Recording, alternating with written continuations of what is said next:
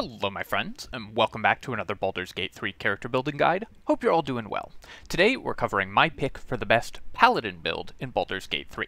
This is an update video to my previous video of the same name, because that video was recorded many months ago, long before Honor Mode was released, so I wanted to update it to bring the character both into the modern era of Baldur's Gate, including Honor Mode uh, potential, as well as incorporate the many lessons that we've learned from character optimization over the last many months of gameplay.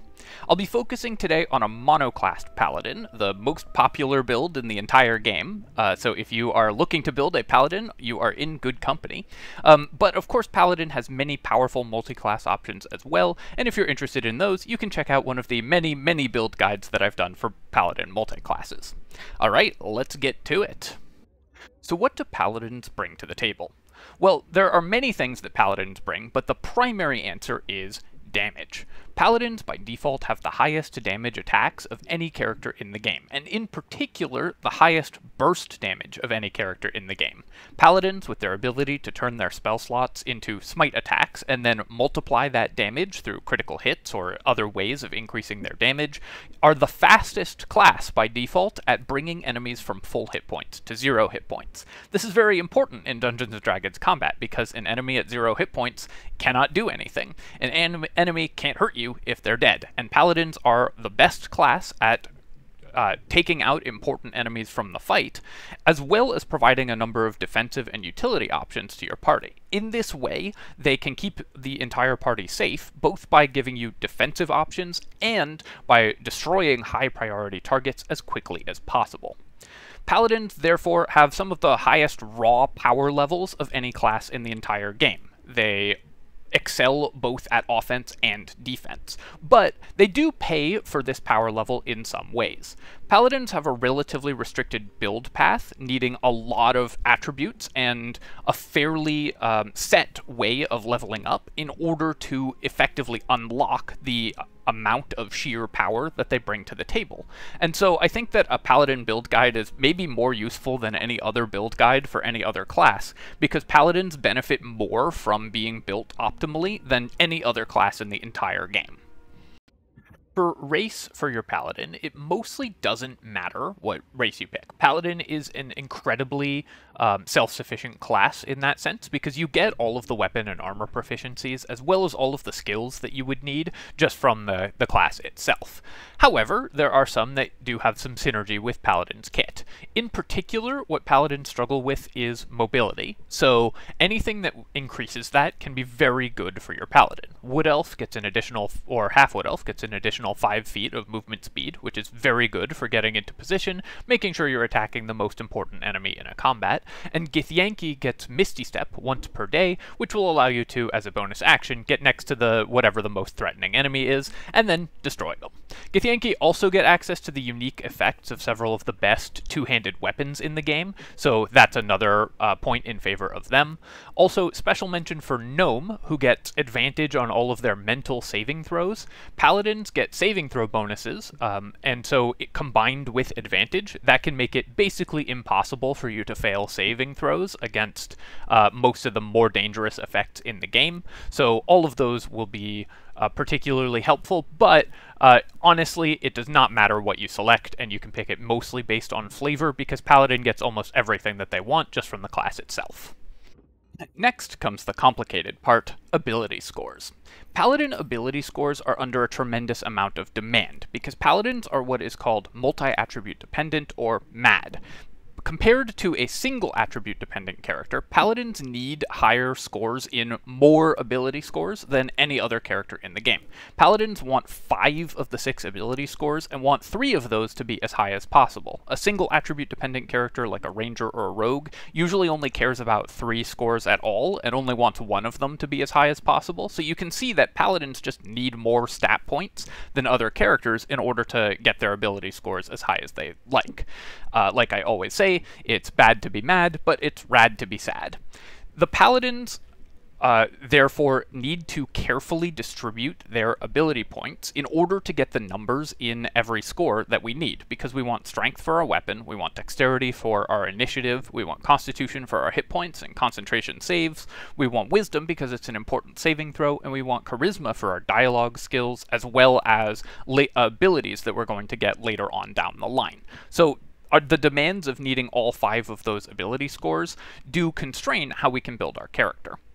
There are three ways we can go about doing this. We can either use the attribute points, uh, use the attribute items that Baldur's Gate provides. Um, so you can buy items that will allow you to replace taking points in actual stats. In particular, the elixirs of Hill Giant Strength. You can drink one every day to set your strength to 21, and that will replace having to take strength, uh, having to actually invest points into strength. The Gloves of Dexterity which you find near the end of Act 1, can replace having to put points into dexterity. A second way we could do this is to forego strength altogether and use only finesse weapons. This will allow us to attack using our dexterity instead of our strength if we use daggers or short swords as our main weapon, but it does give up access to some of the best two-handed weapons in the game, which we want as a paladin.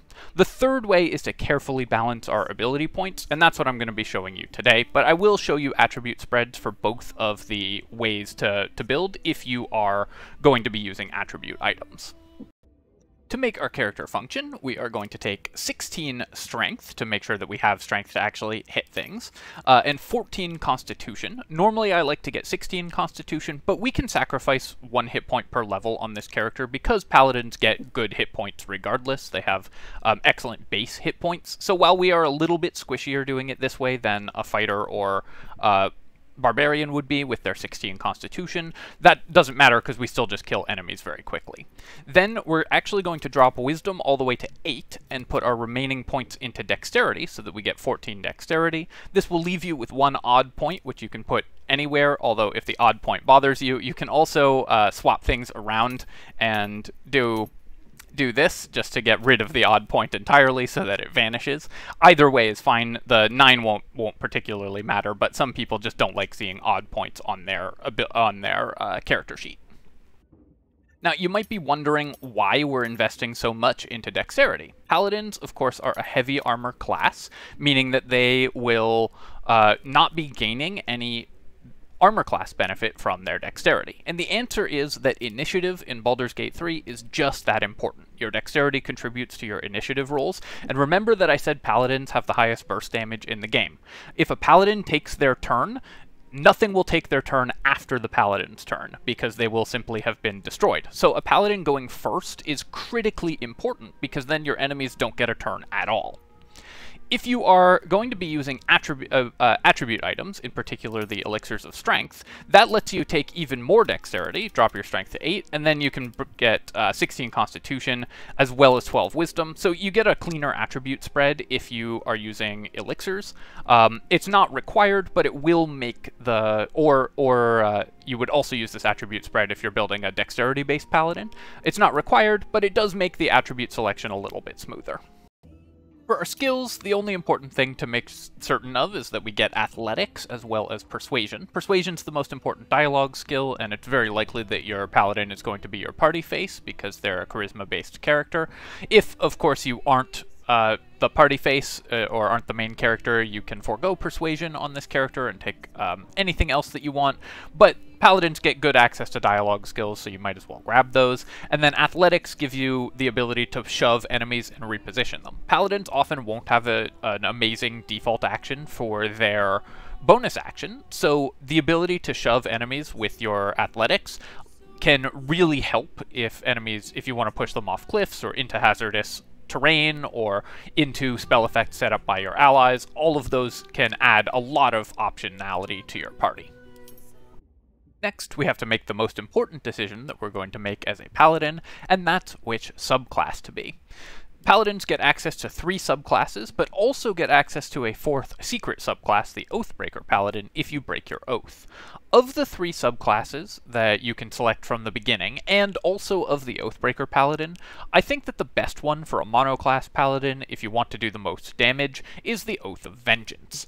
Oath of Vengeance gives you access right away to a great ability in Inquisitor's Might, and also gives you access to some of the best spell progression of any of the Paladins, and one of the more powerful Paladin abilities as you level up. So it's my pick for the, the best offensive version of the Paladin. It also has the advantage that the Oath is a little bit easier to keep than the other two oaths, so you won't as often accidentally break your oath and have to spend a bunch of money buying it back from the Oathbreaker Knight, which is a downside to some of the paladins that gets especially severe in honor mode when you can't just reload a save after a dialogue choice turns out to break your oath.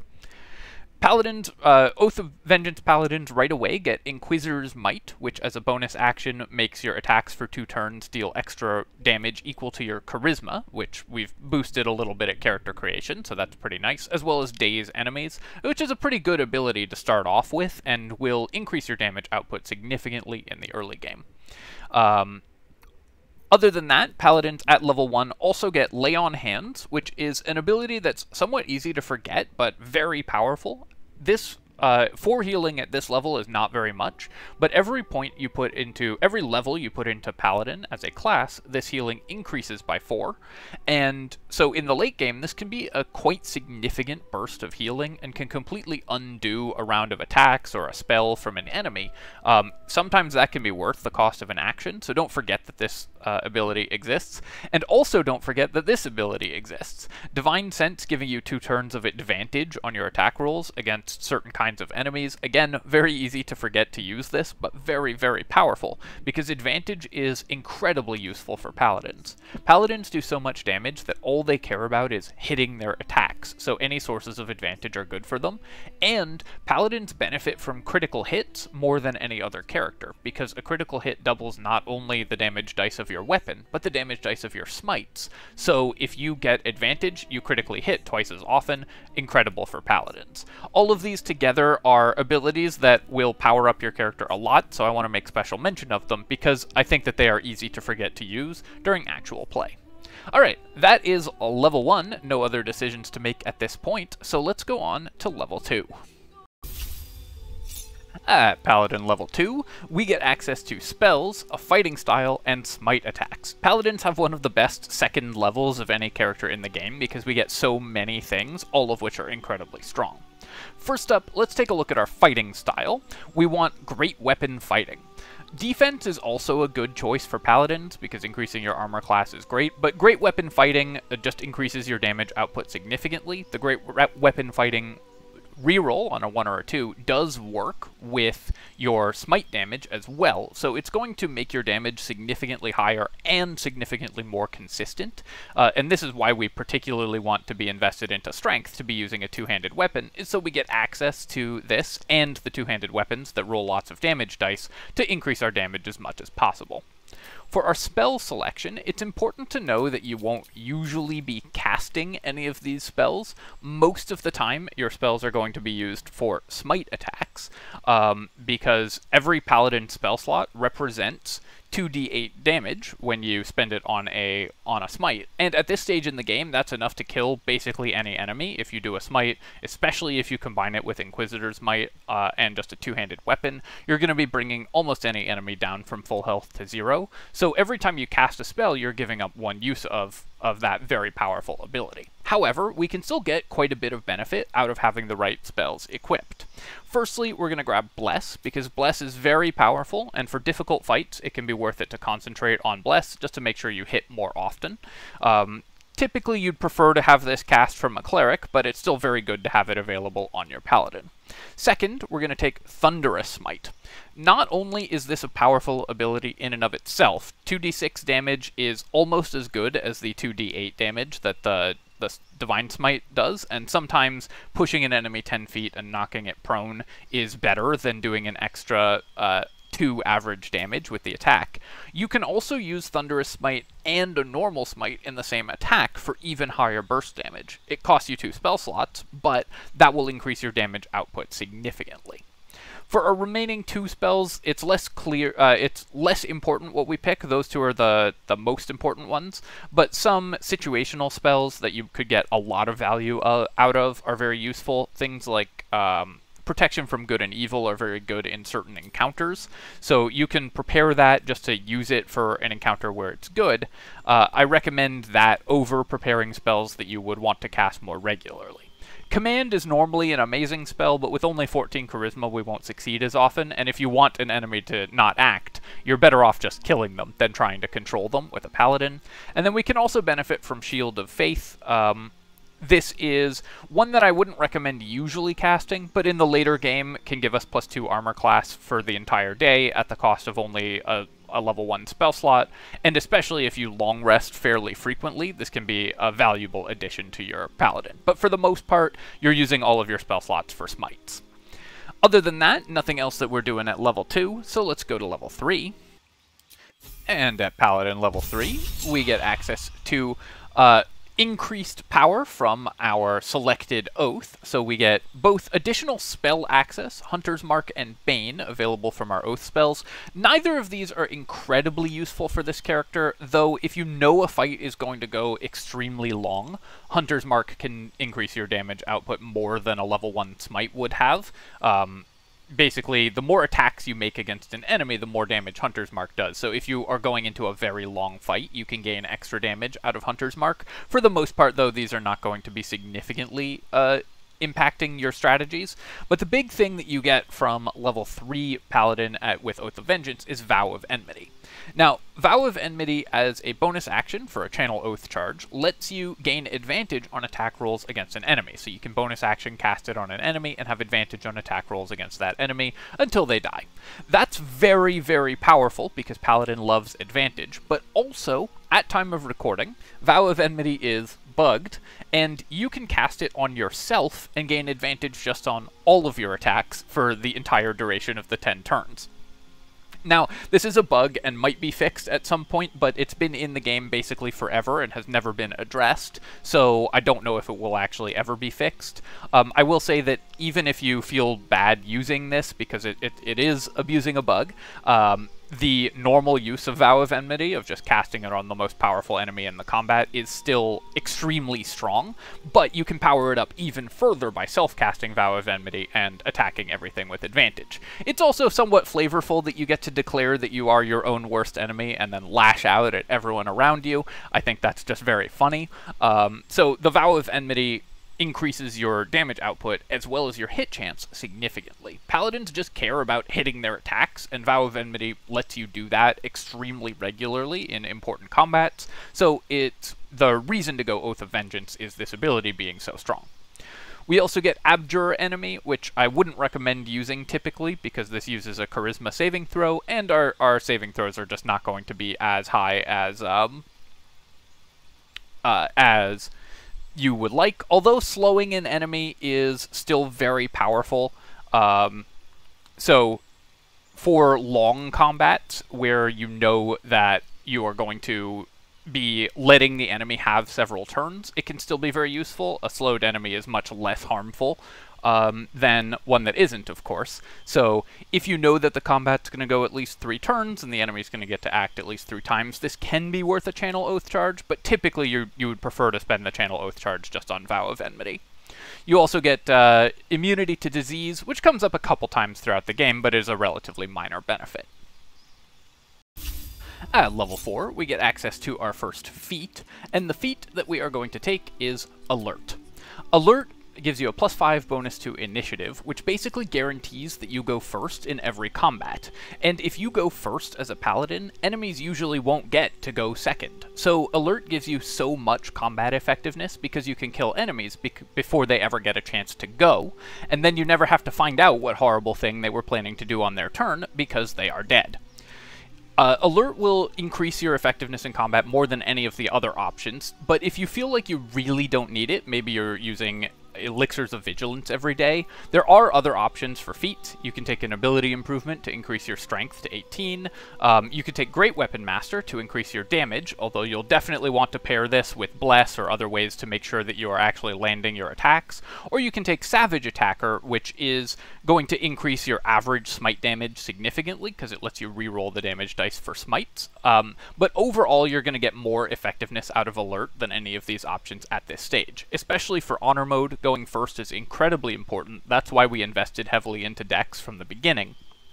And with a plus 7 bonus, or even just a plus 5 bonus, we will get to go first in almost every combat in the game combined with some initiative boosting gear, alert will allow us to go first. This also, because we took alert, lets us now respec to remove some of this dexterity. We can drop our dexterity down to 10 or so, um, and put those extra points into constitution or charisma, which will fix some of our multi-attribute dependency. In the early stages, we really needed this to go first, but Alert can sort of replace that and let us bring those points back into our build elsewhere, um, increasing our effectiveness even more. By this point, we will probably have found good heavy armor, so we won't need the dexterity points for armor class anyways. In the early game, you're probably wearing medium armor and need the 14 dex for armor class as well, but by level 4, you probably have a decent set of heavy armor, and combined with alert, that lets you uh, skimp on dexterity and still gain all of the benefits of it. So overall, highly recommend taking alert, especially for honor mode runs. Going first is just that good.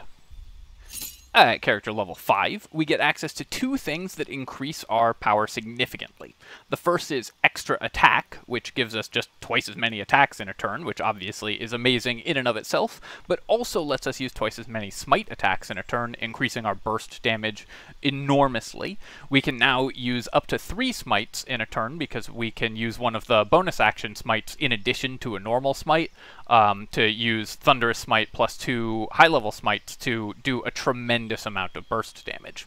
We also get access to second level spells, which mostly is a damage boost for our smites. The second level spell slots do more damage when spent on smite attacks, um, but also gives us access to some cool utility spells at this level. The most important of these isn't one we actually learn from being a paladin, but one we learn from being a vengeance paladin specifically, and that's Misty Step. Misty Step uh, single-handedly solves all of your positioning issues as a character and is critically important for every character in Baldur's Gate to get access to. It'll let you get on top of the most dangerous enemy in an encounter, no questions asked, or run away if an encounter is going badly. Uh, very important spell, and great that we get access to it from our Paladin Oath. And then we also get access to the other level 2 spells. Now there aren't any here that we particularly need, and we're almost always going to use these spells for smites rather than actually casting. So let's just go ahead and prepare ones that are very situational, situational but nice to have when they do come up. Things like protection from poison uh, and lesser restoration are good emergency buttons. And then we can honestly pick whatever we want as our last spell. You are almost never going to cast any of these other spells. Um, because they don't solve a problem that you have. Uh, so you can pick up command or something like that, and maybe uh, if you've increased your charisma, sometimes you can command enemies, especially uh, if you can't reach melee. But in general, you are going to be using all of your spell slots for smite at this point, so what spells you prepare won't matter tremendously. At character level 6, we get to increase our party's defensive defenses massively. We get Aura of Protection, which gives you and any nearby allies a plus zero bonus to saving throws. This plus zero is just a bugged tooltip. Uh, the actual bonus to saving throws is equal to your charisma. So if you've increased your charisma to 16 at this point, or boosted it in any other way, a plus three bonus to saving throws is huge. This is why we could get away with taking low wisdom, because we have uh, wisdom save proficiency, and we're getting wisdom saves from our aura.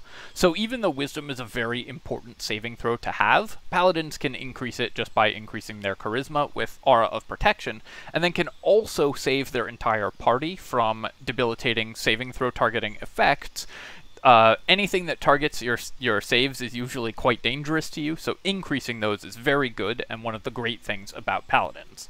It is a relatively small aura, it's only 10 feet, and also you have to remember to activate it after you level up. It's not on by default, but once you activate it, it stays on forever. Um, but this will make your party significantly more survivable over the course of the game. At Paladin level 7, you get the Relentless Avenger class feature from Oath of Vengeance, which honestly is not a significant boost to the character. It's a nice to have if you do hit an enemy with an opportunity attack, but not something that is going to significantly change how the character plays out. Um, so you will use it when it comes up, but don't don't worry about trying to trigger this or anything. Make opportunity attacks because you want to do damage, not because you want to trigger this ability. You also just get more spell slots, and more spell slots is more smite attacks, which of course is excellent for paladins. At Paladin level 8, we get our second feat, and uh, for this level, we're just going to take an ability improvement to increase our strength. At this point, we really want to be making sure that we're landing our attacks as often as possible, so increasing our strength just makes our hit chance better. Um, and we will also be investing pretty heavily in items that increase our hit chance, and of course we get advantage on our attacks very frequently. So the ability to increase our strength um, to make sure that we're landing attacks is just very important.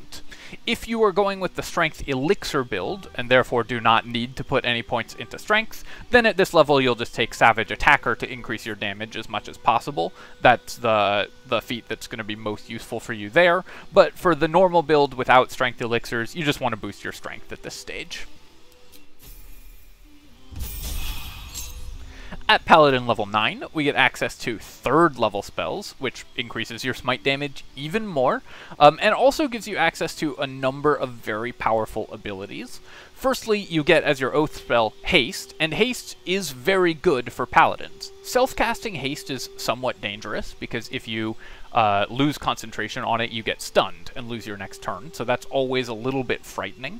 But for uh, a paladin specifically, self-casting haste is much less dangerous because you have a bonus to your concentration saves from your paladin aura that saving throw boost does work on concentration saves and makes you much, much less likely to fail concentration saves on haste. Now, you usually won't do this every fight. You're better off getting haste from an ally or from a, a speed potion or something like that, but it's a nice option to have. And protection from energy is also a nice option to have if you're going into a fight where specific elemental type comes up most often. Again, as always, Paladin spells are used for smites, so don't cast these spells as by default, but remember that they're there, because sometimes they are worth casting. For our prepared spells at this level, we also get to add a couple third level spells in, and there are some third level spells that are situationally quite powerful. Daylight can just win certain encounters on its own, uh, especially in the late game, so having access to that is quite good.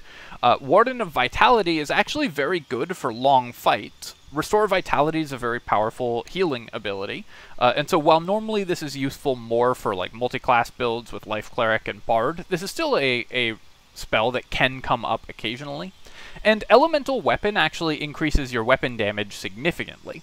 Normally you'll get this from an item rather than actually casting it, but as a day-long buff, uh, Elemental Weapon will increase your damage output over the course of a long rest uh, quite a lot, and especially if you have ways to regain that spell slot, um, you can cast it and then benefit from your weapon being buffed uh, quite a lot, plus one to hit and uh, and an additional 1d4 damage is a pretty significant boost to your damage output. Um, you can benefit from that, refresh the spell slot, and then still use it for smites, so elemental uh, weapon is very good as well. The other uh, paladin abilities at this uh, point are not significant, or other paladin spells you get at this point are not significant. Remove Curse can come up in some situations, so maybe you want to prepare that. Uh, although, of course, remember you can always change your prepared spells out of combat to be able to swap in one of these situational spells. Um, generally, if you want Remove Curse, you'd prefer to get it from a Cleric ally, because you won't be casting it in combat. Uh, but your Paladin can do it in a pinch.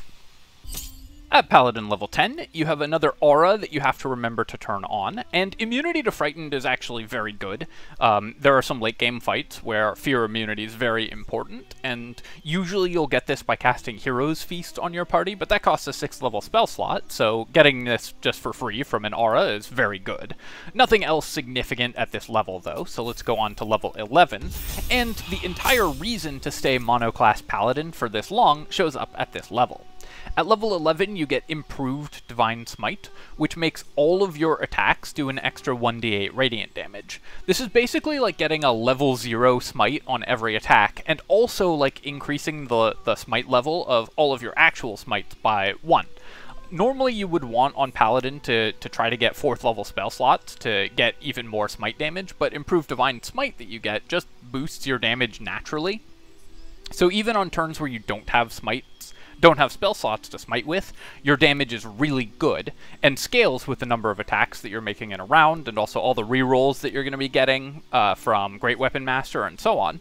Um, but also, this makes your actual smite damage significantly higher as, as well, when uh, actual uh, burst damage significantly higher as well, when you do decide to spend uh, resources on smiting. So this uh, looks like a relatively innocuous boost, but is actually a significant boost to your character's damage output, um, and makes getting Paladin 11 worth it because it just increases your damage uh, so much. You also get one more level 3 spell slot, which is more level 3 smites, which is, of course, excellent. Finally, at character level 12, we get access to our our third and final feat. And here we have a choice really between getting an ability improvement into strength or taking Savage Attacker. And I'm going to recommend taking Savage Attacker. By this point in the game, we have probably collected enough bonuses to our hit chance that Savage Attacker will increase our damage more than uh, improving our hit chance. 18 strength plus the, the bonuses that you're able to acquire throughout the game will be enough. Um, and so Savage Attacker, just allowing you to reroll smite damage, significantly improves your damage output at this stage. Not only does it improve your average damage output, it also makes your damage much more reliable. The enemy of optimization is randomness, so the ability to tighten the distribution of damage that you're doing by, by rerolling means it's much more predictable how much damage you're going to do, which lets you plan your turns significantly better. If you've been going for the Strength Elixir build and therefore already have Savage Attacker, then at this point you can grab Great Weapon Master. All the same things apply, um, where you will probably have enough hit uh, hit bonuses at this point in the game that you're landing your attacks very reliably regardless, so Great Weapon Master can just increase your damage output even more. Alright, that is our Paladin build, but of course we can power it up even further with items, and I will talk briefly about multiclassing as well, so let's do that. For items for this character, there's really four different things that we care about. We're looking to increase our hit chance as much as possible, because paladins just need to land their attacks in order to function, so anything that increases our hit chance is very important. We're also looking for increases to our critical hit chance, and especially for guaranteed criticals, because that can let you, uh, with 100% certainty, get a critical against an important enemy so that you can take them out as quickly as you can. Uh, next, we are looking for increases to initiative, because alert is very good, but not enough to guarantee winning initiative on its own, so increasing our initiative further is very important, and can let us guarantee winning initiative and killing enemies before they go. And finally, we're looking for defensive items that can help keep this character alive. Our defenses are relatively low for a melee build, so anything that increases our armor class or hit points is a nice bonus after we've fulfilled the first three uh, conditions. Anything that increases your hit chance is good, so in particular keep an eye out for weapon coatings like the Oil of Accuracy and the Diluted Oil of Sharpness, or items that just have plus one to attack rolls on them. Uh, Gloves of Dexterity give you plus one attack, for example, um, just because that will make you much more likely to actually land your attacks. Next, you want increases to your critical hit chance, and also anything that provides a guaranteed critical. Things like the Killer's Sweetheart can give you guaranteed critical smites, and doubling your smite damage means that an enemy dies significantly faster. Anything uh, that gives you um, reduces the roll you need to critical hit, like the Knife of the Undermountain King, though typically you won't be able to actually equip this one, but anything with this line of text on it, where you reduce the number you need to roll a critical hit, is very important to this character as well. Um, and then anything that increases your initiative. You're also looking for a good two-handed weapon that rolls multiple damage dice, because you will be able to re-roll those damage dice, both with Savage Attacker and with Great Weapon Master. So you're looking for a Great Sword or Warhammer in particular that have multiple damage damage dice as their base uh, damage, and also add additional damage dice when you attack. The Soulbreaker Greatsword fills a lot of those roles, especially if you're a Githyanki, because it gives you multiple damage dice and an initiative bonus. Um, and then, so th that, and then if you're a Githyanki, gives you an additional damage that you can then re-roll again as well. Um, and in the uh, early game, another very good item is the Unseen Menace, uh, which just gives you advantage on every attack, which means you're going to critically hit more often. So those are the two early game weapons that I would recommend. And then in the late game, you're just looking for whatever the most powerful two-handed weapon you have is. Basically, just look at this damage number. You just want to increase that as much as possible. For attribute items, there are a few different directions that you can go. Of course, if you're going for the elixirs build, you want the elixir of Hill Giant Strength. And then also an incredibly powerful item for this character is the Gloves of Dexterity. If you respec to drop your dexterity to 8, that gives you the the attribute points back to spend elsewhere and fix your attributes, and then you can equip the Gloves of Dexterity, set your Dexterity to 18, and that also lets you wear medium armor. If you find one of the medium armors that doesn't uh, cap your armor class, that can actually be better armor class than heavy armor, while also giving you advantages like plus one initiative from the Yuan-ti scale mail. Uh, so altogether, those are very good. Another uh, good item to increase your hit chance is an Elixir of Heroism. This gives you a permanent Bless that stacks with normal sources of Bless, so if you're not using Strength Elixirs, this is probably the best Elixir for the character, although Viciousness or Bloodlust are obviously very good as well. Um, and then one other option for this character is to equip uh, just the best heavy armor that you can find, in which case you're just looking for the highest uh, armor class number. Just look for the, the biggest number for armor class, just to make sure that you don't get hit as often.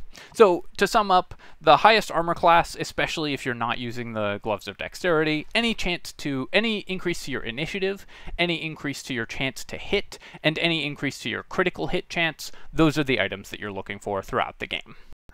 Finally, to briefly touch on multi-classing, although I mentioned I'm focusing on a mono-class paladin here.